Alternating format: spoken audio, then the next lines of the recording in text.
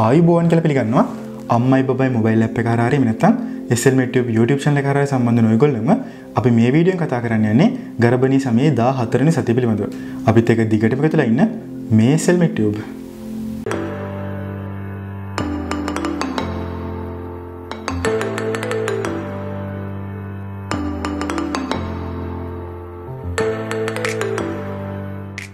ඔයගොල්ලෝ දැන් ඇවිල්ලා ඉන්නේ ගර්භණී සමයේ 14 වෙනි සතියට.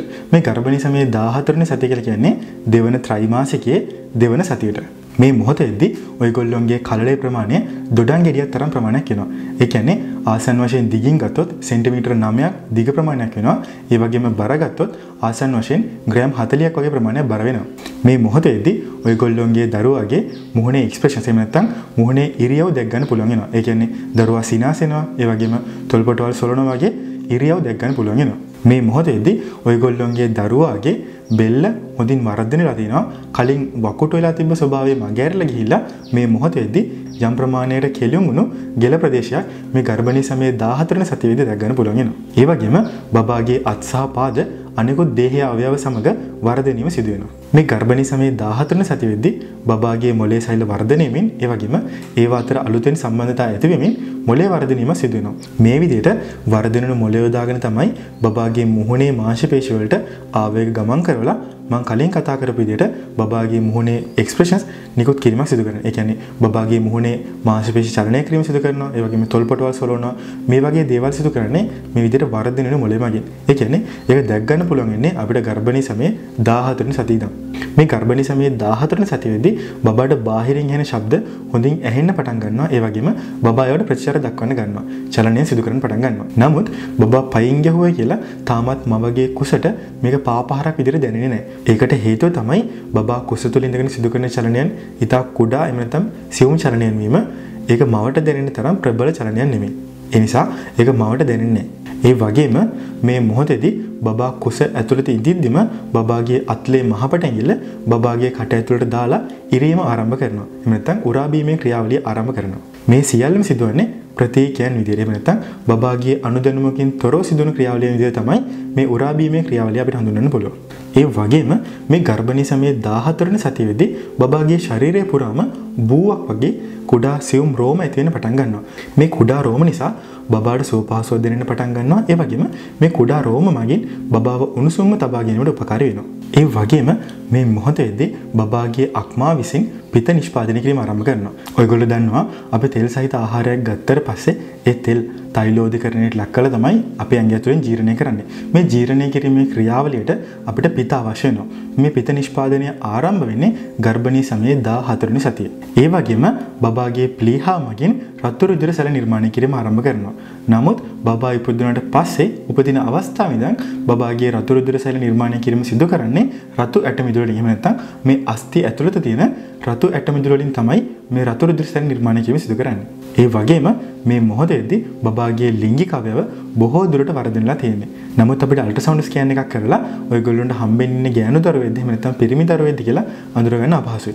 නමුත් ඉදිරි සති දෙකක තුනක වගේ කාලයක් යද්දී ඔයගොල්ලන්ට අල්ට්‍රාසවුන්ඩ් ස්කෑන් එකක් කරලා ඔයගොල්ලන්ට හම්බෙන්න ඉන්නේ ගෑනු දරුවෙක්ද එහෙම නැත්නම් පිරිමි දරුවෙක්ද කියලා අඳුරගන්න හැකියාව ලැබෙනවා. සමස්තයක් විදිහට ගත්තාම මේ ගර්භණී සමයේ 14 වෙනි සතියේදී බබාගේ ශරීරයේ ක්‍රියාකාරීත්වය හොඳ මට්ටමක තියෙනවා. අපි මේ වෙනකන් ගර්භණී සමයේ 14 වෙනි සතියට අදාළව බබාගේ ශරීරයේ සිදුවන වෙනස්කම් පිළිබඳව කතා කරා. අපි ඊළඟට ගර්භණී සමයේ 14 වෙනි සතියේදී මවගේ ශරීරයේ සිදුවන වෙනස්කම් පිළිබඳව කතා කරමු.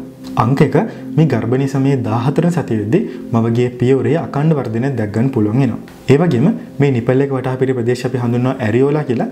මේ ඇරියෝලා ප්‍රදේශය තද දුමුරු පැහැයක් ගන්නවා. ඒ වගේම මේ මොහොතේදී නිපල් එක ඉදිරියට නිරායම සිදු වෙනවා.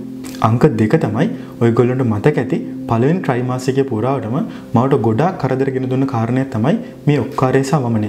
මේ ගර්භණී සමයේ 14 වෙනි සතිය නැත්තම් මේ දෙවන ත්‍රිමාසිකයේ වගේ කාලෙ වෙද්දී මේ ඔක්කාරය සහ වමනය ගතිය බොහෝ දුරට අඩු වෙන්න පටන් ගන්නවා. මේ මොහොතත් එක්ක මවට හොඳ ආහාර රුචියක් ඇති වෙනවා. ඒ වගේම හොඳට ආහාර ගැනීමේ හැකියාවක් ඇති වෙනවා. මේ විදිහට හොඳ ආහාර රුචියක් ලැබෙනවත් එක්කම මා විසින් විශේෂයෙන්ම හොඳ සමබල ආහාර වේලක් ලබා ගන්න ඕනේ. ඒ විතරක් නෙමෙයි මව විසින් විශේෂයෙන් සැලකිලිමත් වෙන්න ඕන කාරණයක් තමයි මවගේ රුධිරයේ තියෙන සීනි මට්ටම පිළිබඳව එහෙම නැත්නම් රුධිරයේ තියෙන ග්ලූකෝස් මට්ටම පිළිබඳව විශේෂයෙන් සැලකිලිමත් වෙන්න ඕනේ. ඒකට හේතුව තමයි මේ ගර්භණී කාලය තුළ ඇතිවන දියවැඩියා රෝගී තත්ත්වයක් තියෙනවා. ඒක අපි හඳුන්වනවා ගෑස්ට්‍රේෂනල් ඩයබටිස් මෙලයිටස් කියලා. මේ තත්ත්වය ඇති වෙන්නේ ගර්භණී මව්වරන්ට විශේෂයෙන්ම ඔවුන් ලබා ගන්න ආහාර රටාව නිසා. විශේෂයෙන්ම ඔයගොල්ලෝ හොඳ සමබල ආහාර වේලක් ලබා ගන්නවා වගේම රුධිරයේ තියෙන ග්ලූකෝස් මට්ටම පිළිබඳව සැලකිලිමත් වෙන්න ඕනේ. අංක 3 මේ ගර්භණීය සමය තුළ වෙරිකෝස් වෙන් තත්ත්වය දැක් ගන්න පුළුවන් වෙනවා. ඒකට හේතුව තමයි ඔයගොල්ලෝ දන්නවා ඇති ගර්භණී කාලය වෙද්දී මවගේ රුධිර පරිමාව 50කින් වැඩිවීමක් සිදු වෙනවා. ඒ කියන්නේ මවගේ ආරම්භක පරිමාවෙන් හරි අඩක් වැඩිවීමක් සිදු වෙනවා මේ ගර්භණී බවට පත් වෙනත් එක්කම. මේ හේතු නිසා ඔයගොල්ලොන්ගේ රුධිර ප්‍රමාණය වැඩි වෙලා ශිරා තුළ එකතු වෙන රුධිර ප්‍රමාණය වැඩි වෙනවා. මේ නිසා ශිරා ඉදීමීමකට ලක් වෙලා තමයි මේ වෙරිකෝස් වෙන් කියන තත්ත්වය ඇති වෙන්නේ. ඔයගොල්ලන්ට පරම්පරාවෙන් මේ වෙරිකෝස් වෙන් කියන තත්ත්වය එහෙම නැත්නම් නහර ගැටි ගැසීම් කියන තත්ත්වය තියෙනවා නම් ඒ තත්ත්වය වැඩිවීමක් එහෙම නැත්නම් ඒ තත්ත්වයේ ආරම්භයමක් සිදු වෙනවා ඔයගොල්ලෝ ගර්භණී බවට පත්වීමත් එක්කම. අංක 4 තමයි මවට නිතරම නාසයේ බරගතියක් ඇති වෙනවා. මේ තත්ත්වය ඇති වෙන්නේ ඔයගොල්ලොන්ගේ ප්‍රෙග්නන්සි හෝමෝන් එහෙම නැත්නම් ඊස්ට්‍රජන් ප්‍රොජෙස්ටරෝන් කියලා හඳුන්වන ඔයගොල්ලොන්ගේ ගර්භණී භාවය පවත්වා ගන්න දායක වන හෝමෝන් වල ක්‍රියාකාරීත්වය නිසා තමයි ඔයගොල්ලොන්ගේ නාසයේ නිතරම බරගතියක් ඇති වෙන්නේ. ඒකට හේතුව තමයි ඔයගොල්ලොන්ගේ නාසයේ තියෙන මියුකස් ස්‍රාවය කරන ග්‍රන්ථි නැත්නම් මියුකස් සික්‍රේෂන් එක වැඩි කිරීම සිදු කරනවා මේ හෝමෝන මගින්. අංක 5. මවට පළවෙනි ත්‍රිමාසිකයේ දකින්න ලැබුණු මහන්සි ගතිය නැත්නම් තෙහෙට්ටු ගතිය මේ දෙවන ත්‍රිමාසිකයේ ආරම්භනත් එක්කම එහෙම නැත්නම් මේ 14 වෙනි සති වගේ කාලය වෙද්දී සම්පූර්ණයෙන් අඩු වෙන්න පටන් ගන්නවා. ඒකට හේතුව තමයි මේ පළවෙනි ත්‍රිමාසිකයේ කාලය පුරාවට තමයි බබාගේ ප්ලැසෙන්ට් එක නිර්මාණය කිරීමට මවගේ ශරීරය විසින් වැඩි දායකත්වයක් සිදු කරන්නේ. ඒ නිසා මවට මේ පළවෙනි ත්‍රිමාසිකයේ කාලය තුල වැඩි මහන්සියක් ඒ වගේම තෙහෙට්ටුවක් දැනෙනවා. ඊට සාපේක්ෂව ගර්භණී සමයේ 12 වෙනි සතියෙන් පස්සේ ආරම්භ වෙන මේ දෙවන ත්‍රයිමාසිකයේ කාලය වෙද්දී මවට හොඳ ෆීල් එකක් දැනෙන්න පටන් ගන්නවා. අපි මේ වෙනකන් ගර්භණී සමයේ 14 වෙනි සතියට අදාළව බබාගේ ශරීර සිදු වෙනස්කම් ඒ වගේම මවගේ ශරීර සිදු වෙනස්කම් පිළිබඳව කතා කරා. අපි මීළඟ කතා කරන්නේ ගර්භණී සමයේ 14 වෙනි සතියේදී මව විසින් දැනගන්න කරුණු. එහෙම නැත්නම් මේ ගර්භණී සමයේ 14 වෙනි සතියට අදාළව ප්‍රෙග්නන්සි ටිප්ස් කීපයක් සාකච්ඡා කරන්න. අංක 1 මේ ගර්භණී සමයේ දෙවන ත්‍රයිමාසිකයේ තමයි බබාගේ ශරීරයේ බර වැඩිවීමෙන් වැඩි ප්‍රමාණයක් සිදු වෙන්නේ. ඒ හේතුව නිසා මවගේ ශරීරයේ සිදුවන බර වැඩිවීම සතිපතා මැන බැලීම සිදු කර ගැනීම ඊටමත් වැදගත් වෙනවා. මේ විදිහට සතිපතා මවගේ ශරීරයේ බර වැඩිවීම සිදු වෙන්න ඕනේ. මේ සිදුවන ආකාරය එකිනෙකාගේ ශරීරයේ ප්‍රමාණය අනුව වෙනස් වෙන්න පුළුවන්. ගර්භණී මව විසින් සතිපතා ඒගොල්ලොන්ගේ ශරීරයේ බර වැඩිවීම පිළිබඳව අවබෝධයෙන් ඉන්නවා නම් දරුවාගේ බර වැඩිවීම නැත්නම් දරුවාගේ වර්ධනය පිළිබඳ යම්කිසි දල අවබෝධයක් ලබා ගන්න පුළුවන්. මම මේ පෙන්වන chart එකෙන් ඔයගොල්ලන්ට අවබෝධයක් ලබා ගන්න පුළුවන් මේ එක් එක් BMI පරාසවල ඉන්න මව්වරුන්ගේ ශරීරයේ බර කොච්චර ප්‍රමාණයක් සතිපතා වැඩි වෙන්න ඕනද? ඒ වගේම සමස්ත ගර්භණී කාලය පුරාවටම කොච්චර කිලෝ ගණන් ආසන්න වශයෙන් බර වැඩි වෙන්න ඕනද කියලා. මේ පෙන්වන chart එකෙන් ඔයගොල්ලන්ට ඒ පිළිබඳ අවබෝධයක් ලබා ගන්න පුළුවන්. මම හිතනවා අපේ ගර්භණී අම්මලා BMI හදාගන්න දන්නවා ඇති කියලා. මම පොඩ්ඩක් දල වශයෙන් මතක් කරන්නම් කොහොමද BMI හදාගන්නේ කියලා. BMI කියලා කියන්නේ body mass index කියන එක ඔයගොල්ලොන්ගේ බර බෙදන්න ඕනේ ඔයගොල්ලොන්ගේ උසේ වර්ගයෙන්. මේ මොහොත වෙද්දී බර ගන්න ඕනේ කිලෝග්‍රෑම් වලින් ඒ වගේම උස ගන්න ඕනේ මීටර වලින්. මේක අරගෙන තමයි මේ විදිහට කැල්කුලේෂන් එක කරලා තමයි ඔයගොල්ලෝගේ BMI ලබා ගන්න ඕනේ. මම ඔයගොල්ලෝ මේ පෙන්වන chart එකෙන් ඔයගොල්ලෝ BMI පරාසයේ කුමන BMI පරාසයේද ඉන්නේ? ඒ වගේම ඔයගොල්ලෝගේ සතිපතා කොච්චර බර වැඩිවීමක් බලා ගන්න ඕනේද?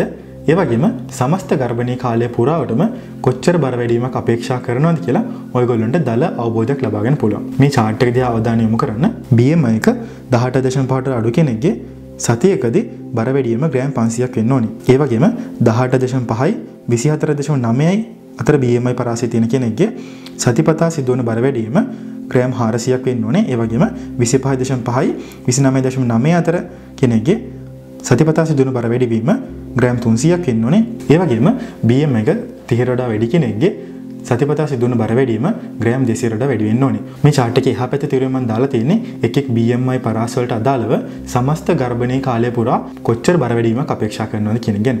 ඔයගොල්ලෝ මේ chart එක බලුවම අවබෝධයක් ලැබෙන්නේ නැති ඔයගොල්ලෝගේ BMI එක අඩුයි නම් ඔයගොල්ලෝගේ අපේක්ෂා කරන බර වැඩිවීම වැඩි. ඒ වගේම ඔයගොල්ලෝගේ BMI එක වැඩි නම් අපේක්ෂා කරන බර වැඩිම අඩුයි කියලා. මං හිතනවා මේ ගර්භණී සමයේ බර වැඩිම පිළිබඳව මේ කොටසින් අවබෝධයක් ලැබෙන්නේ නැති කියලා. අංක 2. ඔයගොල්ලෝ ටැටු එකක් ගන්න බලාපොරොත්තු වෙන ඉන්න අම්මා කෙනෙක් නම් මේ ගර්භණී සමයේ පුරාටම ඔයගොල්ලෝ ටැටු එකක් ගන්න එකෙන් වැළකීලා ඉන්න ඕනේ. ඒකට හේතුව තමයි මේ ටැටු සඳහා භාවිතා කරන ඉන්ක් එක ඔයගොල්ලෝ දන්නවා රුධිරය සමග මිශ්‍ර වෙනවා. මේ රුධිරය සමග මිශ්‍ර වුණාට පස්සේ මේ තීන්ත ඔයගොල්ලොන්ගේ දරුවාටත් ගමන් කරන්න පුළුවන්. මොකද බබාගේ රුධිර සැපීම සහ මවගේ රුධිර සැපීම අතර සම්බන්ධ වීමක් තියෙනවා ඔයගොල්ලොන්ගේ ප්ලැසෙන්ටා එකෙන්. ඒ නිසා මේ තීන්ත